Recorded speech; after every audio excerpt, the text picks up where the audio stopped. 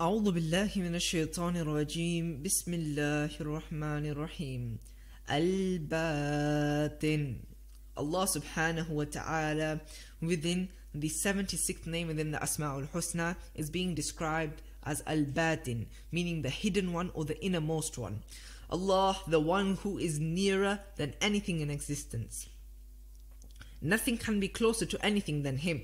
He is near us through His knowledge, hearing and sight, and He is knowing of all things, Beshak.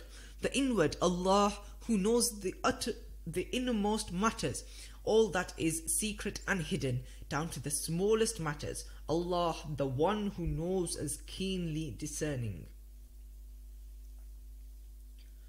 It has been said that whoever recites the name Al Batin, meaning the hidden one or the innermost one, the one who recites this name three times in a day, will be able to see the truth in things, inshallah. Allah subhanahu wa ta'ala.